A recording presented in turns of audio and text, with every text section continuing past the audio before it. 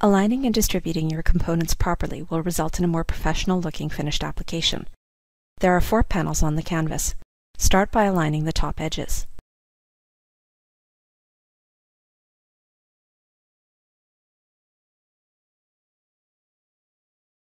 Note that you can align the left, right, top, or bottom edges. Now distribute the same panels evenly across the application.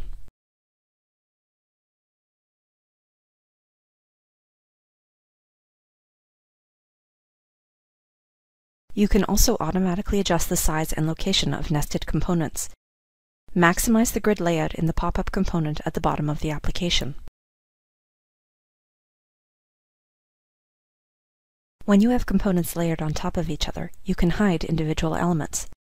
They remain part of the application, but are invisible on the canvas. Hide the pop-up window. Note that the pop-up is now hidden. You have successfully aligned, distributed, maximized, and hidden components in an application. This is the end of the tutorial.